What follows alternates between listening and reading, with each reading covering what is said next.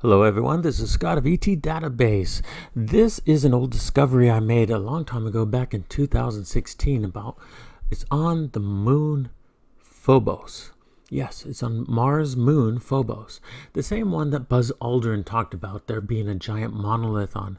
Now, because he was talking about that, I was investigating back in 2016 and I'd never made a video about this, so I'm making it today.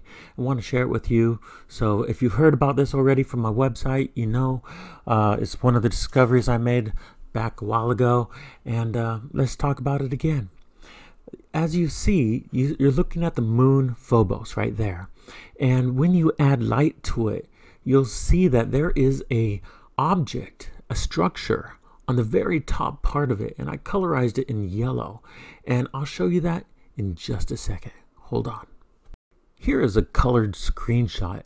I colorized the structure on Phobos, on the moon Phobos, so that you could see it better. And um, I just did my best. I'm sorry, I may have missed a few spots, but I believe this is the correct uh, dimensions of this structure itself. And it could actually be a spaceship or something that's landed on the moon Phobos.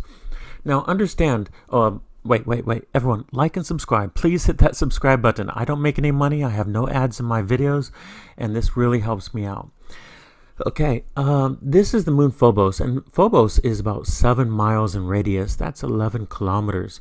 So if we use this uh, full photo of um, the structure itself, we can see that the structure is about one-fifth that of Phobos, meaning the structure of the ship is approximately 1.4 miles long or 2.2 kilometers for our European friends. That's huge, guys. That's really huge. Uh, so that, that's just quite remarkable. Let's look at this in regular. That's just regular format and you can see the structure here. The coloration the green is natural. It's from the ESA and I'll show you that website right after this in just a minute. We're just looking at some screenshots. Look at that. Look at the dimensions around here. That's just incredible. Let's see if I can make it a little darker. I sure can. Look at that. Sure can make it a little darker. Cancel that. Go back to natural. Okay let's look at the full version. This is the large one Okay, this is the full version right here. And what we're going to do is zoom in on Phobos, come up to the very top right here. And now we're going to add light to it. Yes, that's a little bit too big. I'm sorry. Let me zoom out, zoom out, and add more light to it. And as we're adding light, now we could see a structure over here coming out. Now my screen recorder makes my cursor hand very small, so I'm hoping it's working today. Uh, it's really a defective re screen recorder for some reason. It records it as smaller than it is. Uh, that's not a sexual joke. That is just the reality of the stupid cursor I'm using and the screen recorder. Uh, let's zoom in. Let's make it a little brighter for us right here. There we go. There we go. There we are. Now you can see it really well. Look how big it is compared to the, the moon itself. Okay, you can see the structure right up here. It is just so obvious. I mean, it just screams ancient technology, ancient civilization. Let's zoom in. Let's zoom in. And you can see it right up here. Isn't that amazing?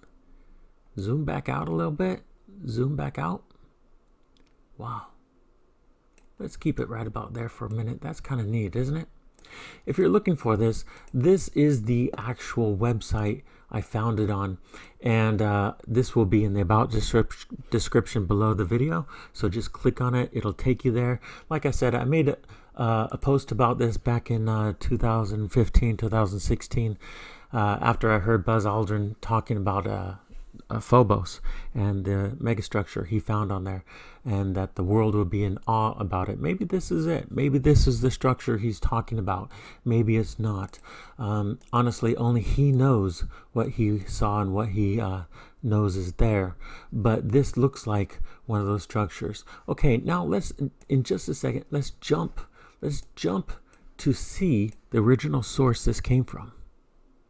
Here we are with the original source. As you see, it's the European Space Administration, the ESA. The ESA does doctor their photos a little bit. I notice they have a lot more blur spots than other other um, uh, websites like NASA. Even NASA blurs things less than the ESA. However, this one, this photo right here, I believe they missed something that was hidden in the shadows. And all you have to do is come over here, hit download, and uh, it will download in your download files and you'll see it where right over here uh, if you're using using a Safari browser.